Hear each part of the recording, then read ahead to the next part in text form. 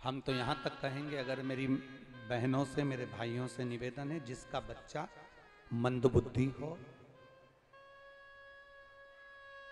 Mind ने काम कम कर रहा हो, बुद्धि से कमज़ोर हो, चित्तवृत्ति से कमज़ोर हो, या शरीर से कमज़ोर हो, जिसका बच्चा बुद्धि से कमज़ोर हो, कभी अगर मौका मिल जाए तो गाय का जो दूध होता है, उस दूध का दही बनाकर।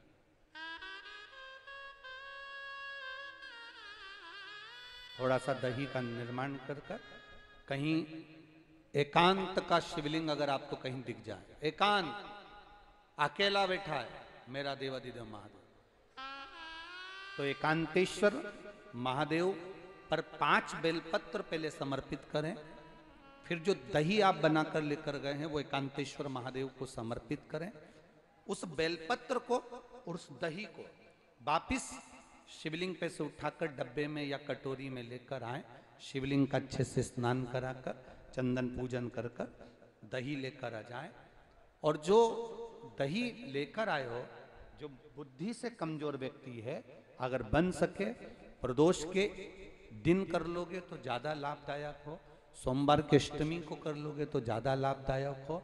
या बारह महीने, हर महीने शिवरात्रि आती है। कोई सी भी शिवरात्रि पर करोगे तो ज़्यादा लाभदायक होगा।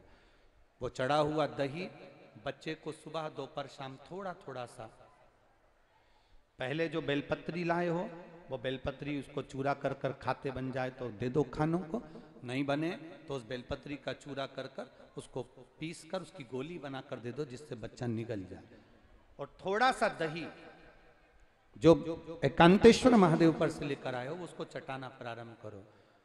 तीन या चार बार प्रदोष पर कर लिया या दो चार आपने महीने की शिवरात्रि पर कर लिया।